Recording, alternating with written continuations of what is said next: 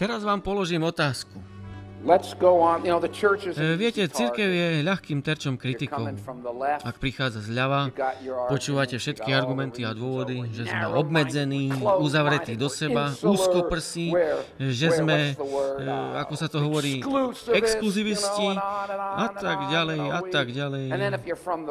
A ak prichádza sprava, tak počúvate, že sme zapredanci, že robíme kompromisy, že sme following že nasledujeme Willow Creek a zavádzame rokovú hudbu a tak podobne. Toto sú aspekty z oboch strán. Ale potom vzniká otázka, kam by ste šli? Vezmite si to takto. Ak sú len dva vieroučné body, ktorých sa nedokážete vzdať, považujte na chvíľu. Totiž poznal som veľa ľudí, ktorí odišli z cirkvi adventistov a niektorí sa stali židmi, pretože sa nedokážu vzdať soboty. Vzdajú sa Ježiša, ale nedokážu sa vzdať soboty.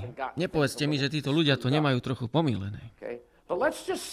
Ale povedzme, že ste naozaj presvedčení o sobote a naozaj nie ste schopní pripojiť sa k nejakej cirkvi, ktorá učí všetky tie the že Ježiš zmenil sobotu na, na nedelu, alebo viete, my svetíme nedelu podľa apoštolov, pretože Ježiš bol skriesený v nedelu. Proste pripustme, že to jednoducho nedokážete. Viete príliš veľa, aby ste to urobili. Teda neviete sa vzdať soboty. Priatelia, ak je to tak, čo potom? Tým si jednoducho odstránite celých 99% vašich možností. 99% of all your other options. Okay? If you're Ak sa nedokážete pripojiť k niektorej cirkvi, ktorá svetí nedelu, aj keď o skutočnom svetení je tu ťažko hovoriť, Ale povedzme, že to nedokážete. viete príliš veľa a preto nemôžete. Tým si 99% zrušíte of your options. 99% iných možností. Dobre, povedzme, že hľadáte církev, ktorá svetí sobotu. Okay. So you got 1% Zostal vám teda option 1% left. Let's say, you know, you got možností. 1% left. Let's say then Povedzme ale, že viete veľa a nie ste schopní pripojiť sa k cirkvi, ktorá učí, že nejaká zosnulá Grandma Jones je teraz v nebi a pozerá sa na nás, pretože zomrela a išla do neba.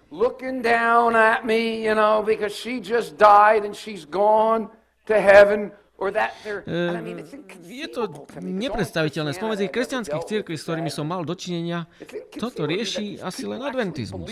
Je priam nepredstaviteľné, že nejakí ľudia veria, že v zemi je diera a naozaj tomu veria. Že v zemi je nejaká diera, ktorú nazývajú peklo, kam idú zlí ľudia Do tej diery teda? a Ježiš ich tam páli ohňom v pekle už teraz a po celú väčnosť. A sú ľudia, ktorí tomu naozaj, naozaj veria. A mne je to veľmi ľúto. A keď som adventistom celé dlhé roky, nikdy, nikdy by som nedokázal veriť niečo také. A som presvedčený, že väčšina z nás, ako sme tu, by sme to nedokázali takisto. S tým, čo vieme o stave mŕtvych, môžeme snáď veriť, že po smrti vyletíme hore, budeme sedieť na obláčiku a hrať na harfe, alebo budeme nejaké, v nejakej diere v zemi, horieť celú väčnosť. Teda ak neviete prijať toto, Nemáte veľa možností. wiped out pretty much 99% so sobotou si your zrušíte 99% Okay, možností. so you got 1% Teda zostáva vám 1%. Okay, you got 1% 1%. left. Let's just- I'm just Tie čísla len tak strieľam odhadom. 1% Z toho left, 1% now you gotta musíte nájsť a církev, ktorá neučí nesmrteľnosť duše a okamžité soul vzatie do neba alebo do pekla. A týmto si celkom iste zrušíte 99% of z toho all 1%, of your ktoré vám 1% zostalo. Teda keď si to napokon zrátame, Pýtam sa, koľko vám zostalo? Vidíte teraz paralelu medzi dnešným adventizmom, ktorého máte možno plné zuby, a možno máte dobré dôvody, aby ste boli znechutení, a židovskou cirkvou v be dobe prvého chrámu alebo v dobe druhého chrámu. Nechcem povedať, že rozdiel medzi jahvizmom starozákonného Izraela a pohanským náboženstvom okolitých národov je rovnaký ako medzi adventizmom a povedzme presbyterianizmom alebo baptizmom či všeobecne evangelikalizmom.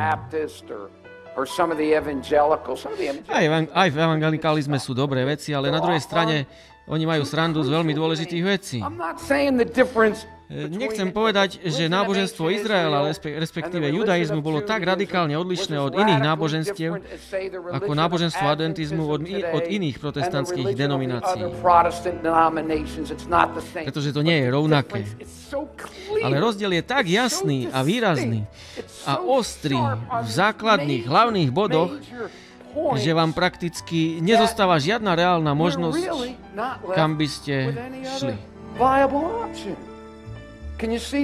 Vidíte to? Ak sa neviete vzdať týchto dvoch vecí, Čo vám zostáva? Inými slovami, pravda, ja verím, že Božia pravda bola po celé veky veľmi jasná, zrejmá a vždy stála v ostrom kontraste s čímkoľvek iným. Great contradistinction between everything else that it wasn't Nebola rozmazaná, it wasn't ani hmlistá, stále bola výrazne odlišná.